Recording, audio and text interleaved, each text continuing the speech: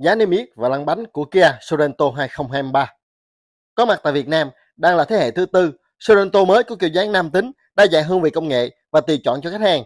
Nhưng do chưa đúng sở thích về thiết kế của khách hàng nên Sorento có doanh số khá đuối trong phân khúc SUV trên 1 tỷ đồng.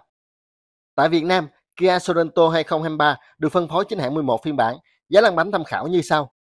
Đầu tiên là phiên bản 2.2D Luxury, giá niêm yết là 1 tỷ 179 triệu đồng, lăn bánh tại Hà Nội là 1 tỷ 343 triệu đồng, lăn bánh Hồ Chí Minh là 1 tỷ 319 triệu đồng, lăn bánh ở Hà Tĩnh là 1 tỷ 312 triệu đồng, lăn bánh tỉnh thành khác là 1 tỷ 300 triệu đồng.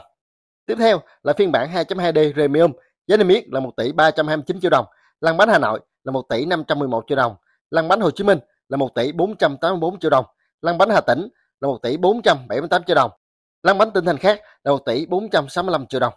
Phiên bản thứ ba là phiên bản 2.2D Shinato AWD 6 chỗ. Giá niêm yết là 1 tỷ 329 triệu đồng, lăn bánh Hà Nội là 1 tỷ 511 triệu đồng, lăn bánh Hồ Chí Minh là 1 tỷ 484 triệu đồng, lăn bánh ở Hà Tĩnh là 1 tỷ 478 triệu đồng, lăn bánh ở tỉnh thành khác là 1 tỷ 465 triệu đồng.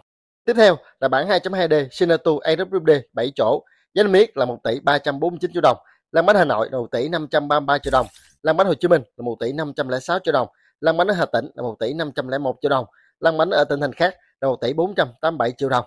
Tiếp theo là phiên bản 1.6 Hybrid Premium, giá niêm yết là 1 tỷ 399 triệu đồng, lăn bánh Hà Nội là 1 tỷ 421 triệu đồng, lăn bánh Hồ Chí Minh là 1 tỷ 421 triệu đồng, lăn bánh ở Hà Tĩnh là 1 tỷ 402 triệu đồng, lăn bánh tỉnh hình khác là 1 tỷ 402 triệu đồng. Tiếp theo là bản 1.6 Hybrid Sinatu giá niêm yết là 1 tỷ 539 triệu đồng, lăn bánh Hà Nội là 1 tỷ 561 triệu đồng, lăn bánh Hồ Chí Minh là 1 tỷ 561 triệu đồng, lăn bánh ở Hà Tĩnh là 1 tỷ 542 triệu đồng, lăn bánh ở các tỉnh thành khác là 1 tỷ 542 triệu đồng.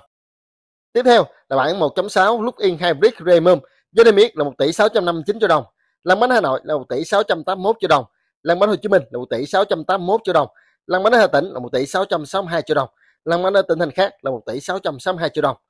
Và cuối cùng là bản 1.6 Look-in Hybrid Sinatu với niêm yết là 1 tỷ 759 triệu đồng, lăn bánh Hà Nội là 1 tỷ 781 triệu đồng, lăn bánh Hồ Chí Minh là 1 tỷ 781 triệu đồng, lăn bánh ở Hà Tĩnh là 1 tỷ 762 triệu đồng. Ở tỉnh thành khác cũng giống như Hà Tĩnh là 1 tỷ 762 triệu đồng. Và chúng ta hãy cùng đi nhanh vào chi tiết ngoại thất nội thất của Kia Sorento 2023.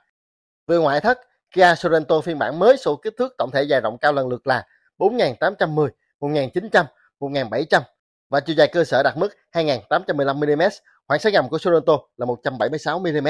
So với các đối thủ cạnh tranh, Sorento số kích thước không quá ấn tượng trong phân khúc xe hạng D. Mẫu xe nhỉnh hơn Hyundai Santa Fe, Toyota Fortuner nhưng lại nhỏ hơn so với các mẫu xe Isuzu Mu-X hay Ford Everest. Còn về chi tiết nội thất, khoang lái của Kia Sorento 2023 đem lại cảm giác ngập tràn công nghệ mà lại vô cùng sang trọng đẹp đẽ. Rất nhiều đường nét mạ rơm sáng bóng ở khu vực cần số, cửa gió điều hòa, đường viền ở tắp lô, thậm chí ngay cả trên vô lăng.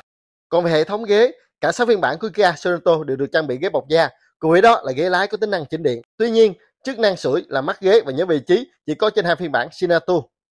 Còn về chi tiết động cơ, động cơ diesel của Kia Sorento là loại Smart Sim D2.2 cho công suất 198 mã lực và mô men xoắn cực đại 440 Nm. Hộp số liên hợp kép 8 cấp lõi ướt. Đại diện hãng cho biết thân động cơ này nhẹ hơn 19,5 kg so với thế hệ trước. Áp suất kim phun cũng tăng lên 10%. Mức tiêu hao nhiên liệu hãng công bố là 6,1 lít trên 100 km.